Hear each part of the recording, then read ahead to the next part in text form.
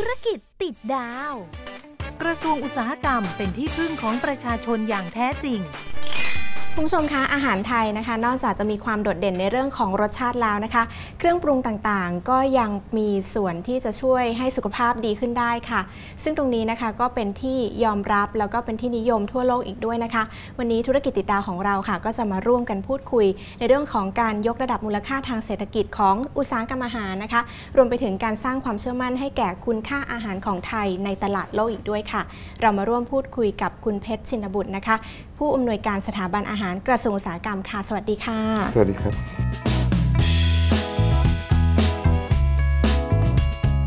คุณเพชรคะ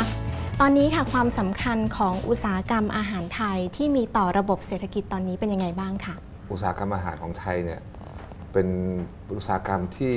ถ้าดูในเลขตัวเลขในการส่งออก อาจจะไม่บือหวาเท่าอุตสาหกรรมอื่นๆ แต่ถ้ามองในในแง่ของการตอบแทนกลับมาสู่ประเทศเนี่ยส่งออกร้อยหนึ่งของรถยนต์อาจจะ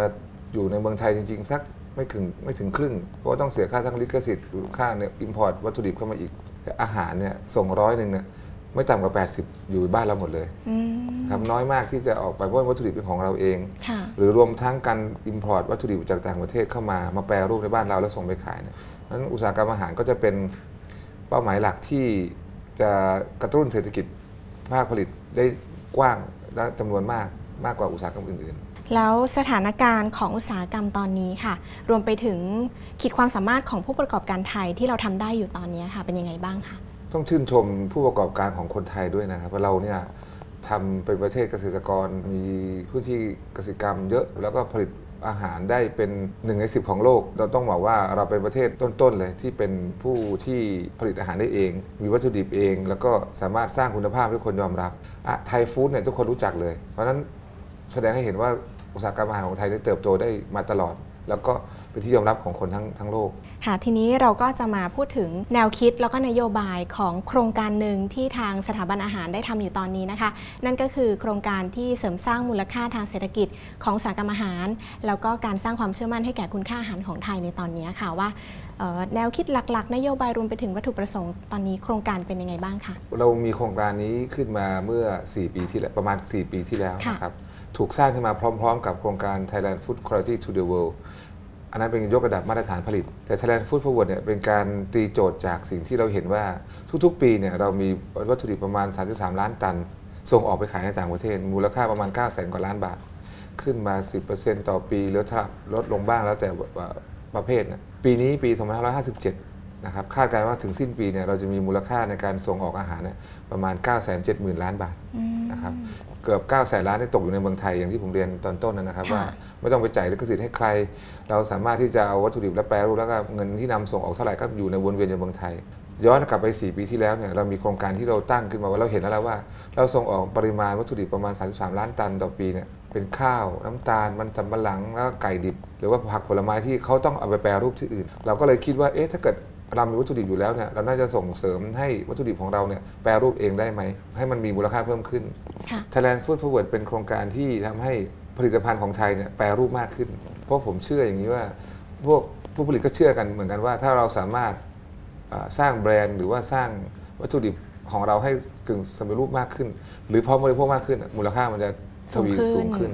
ซึ่งมีหลายผลิตภัณฑ์ที่อยู่ในโครงการที่ผ่านมา 4 ปีนะครับค่ะก็มีการ พัฒนาขึ้นอย่างเป็นลำดับแล้วขายได้จริง แล้วก็มีหลาย ๆ คนที่เข้ามามีหลายผู้ผู้ประกอบการ SME พวกเราเน้นที่ SME ด้วยนะครับ เพราะว่ารายใหญ่ ๆเขาจะมีแบรนด์ของเขาค่ะ แต่ราย SME ก็จะจับกลุ่มคลัสเตอร์กัน แล้วก็ส่งออกไปขาย ภายใต้แบรนด์ที่เขาเรียกว่า Thailand Food Forward มีความคาดหวัง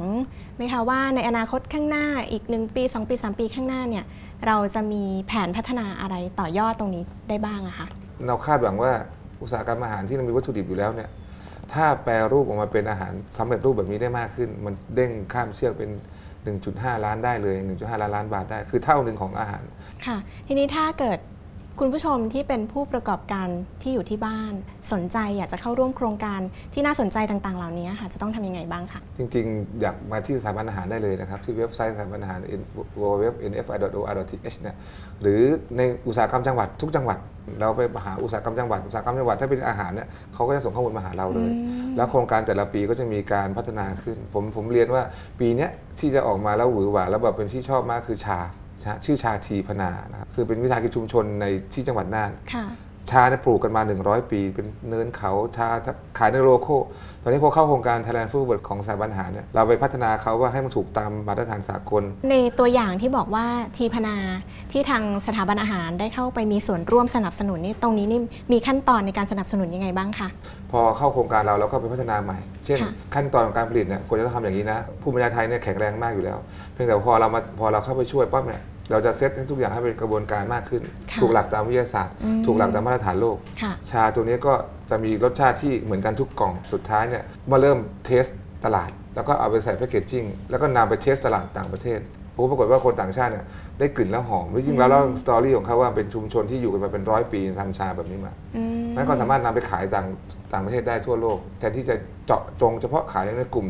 คนที่รู้จักชิมชากันแบบในวงแคบค่ะ ๆ มันก็จะกลายเป็นระดับ world class มากขึ้น ก็เป็นการส่งเสริมแล้วก็ต่อยอดให้ครบจนขายได้เพิ่มมูลค่า ครับแล้วก็เหมือนกับว่าส่งเสริมให้เขาได้มีอาชีพอย่างยั่งยืนด้วย ใช่ครับนั่นเป็นเอ่อเป้าหมายหลักอันหนึ่งด้วยที่จะส่งเสริมให้ผู้ผลิตนะครับรวมทั้งวิสาหกิจชุมชนอย่างเงี้ยได้ได้ทำอาหารอย่างที่เขารัก ความเป็นครอบครัว เราอาจจะได้เห็นเขาอยู่ในทุกท้องถิ่นตัวเอง แล้วก็สิ่งที่เขาทำเนี่ยมันสร้างให้เขาแข็งแรงขึ้นได้ ค่ะ ฟังอย่างนี้แล้วนะคะก็น่าชื่นใจค่ะ แล้วก็หวังเป็นอย่างยิ่งนะคะว่าอุตสาหกรรมอาหารของไทยนะคะ จะเติบโต แล้วก็เป็นอาหารจานโปรดของคนทั่วโลกได้ในไม่ช้านี้นะคะ วันนี้ค่ะทางรายการก็ขอขอบคุณคุณเพชรนะคะ ที่มาพูดคุยกับทางรายการวันนี้ขอบคุณมากค่ะสวัสดีครับ